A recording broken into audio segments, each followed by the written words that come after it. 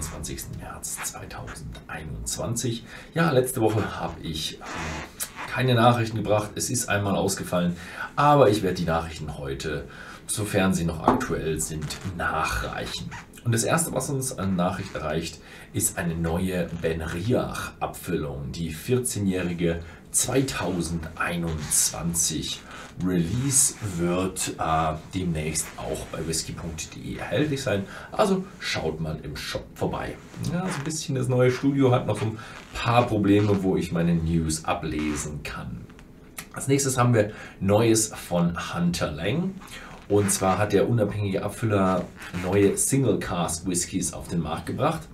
Und zwar Cask Strength äh, äh, der First Editions einmal einen 20-jährigen Ben Rinnes, einen 23-jährigen Inchgauer und einen 25-jährigen Tomaten. Weiter kommen unter dem Label Hepburn's Choice noch Glenburgie mit Rum Finish und ein North British Single Grain der Serie The Sovereign.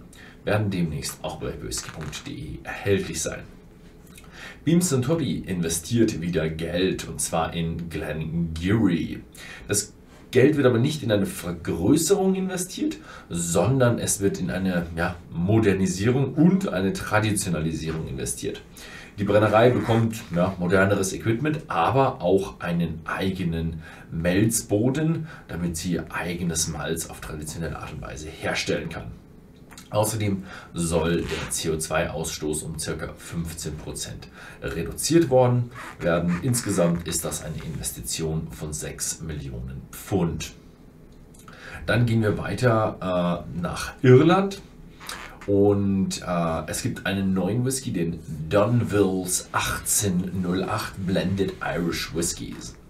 Ähm, es ist eine Einführung eines neuen Blends und ähm, er besteht aus Malt, Grain und Potstale Whisky. Äh, 40% ABV.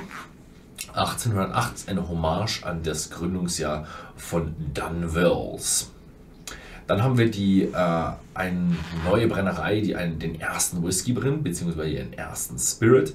Die Meseal Distillery brennt ihren ersten irischen Whisky in Galway seit über 100 Jahren. Galway ist, soweit ich das erinnern kann, eine Stadt an der, äh, im westlichen Teil der, des Landes und da gab es schon seit Ewigkeiten keine Brennerei mehr.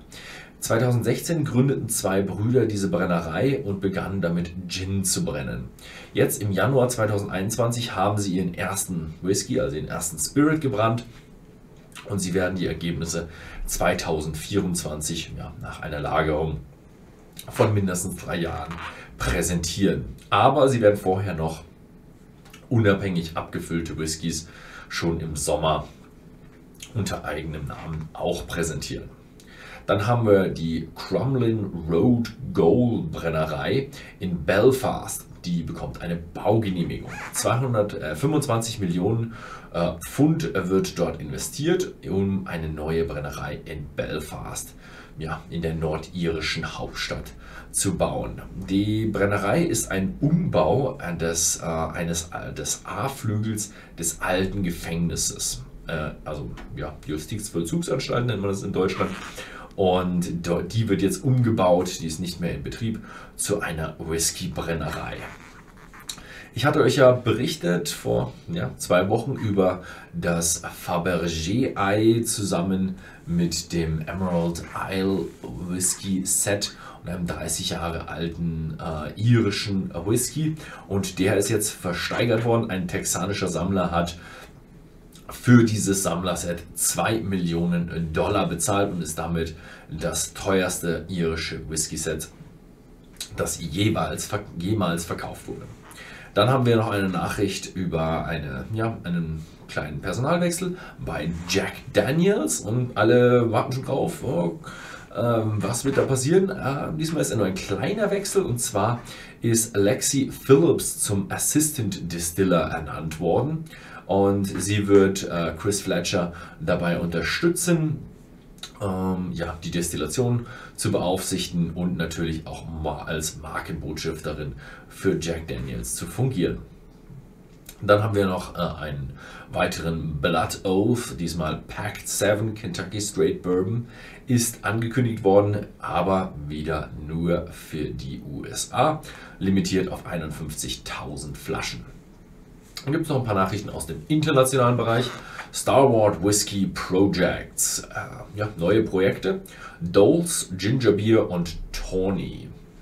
Ähm, ja, ist verschiedene besondere Fassreifungen. Tawny, ja, Tawny Port ist australischer Starkwein. Doles ist ein, ja, auch ein Dessertwein. Und äh, Ginger Beer, wie es so ist, Ginger Beer Fässern für die Nachreifung. Sehr interessant, was da so rauskommt, ist immer wieder, ja, immer wieder anders, immer wieder neu. Von daher finde ich Star Wars relativ schön. Ähm, die Flaschen gibt es übrigens auch bei whisky.de zu, er, äh, zu erhalten, ja, zu erkaufen. Dann äh, als letztes Elsburn Italian Connection. Er reift für sieben Jahre in einer Fasskombination aus First Fill am äh, Amarone und danach Marsala Casks. 55,5% ABV, ohne Kühlfilterung und ohne Farbstoff, limitiert auf 1000 Flaschen und natürlich auch bei whisky.de erhältlich. Ja, vielen Dank fürs Zusehen. Ich muss noch ein bisschen schauen, wie ich das mit den Einstellungen hinkriege, damit ich wirklich alles lesen kann. Ansonsten vielen Dank fürs Zusehen und bis zum nächsten Mal.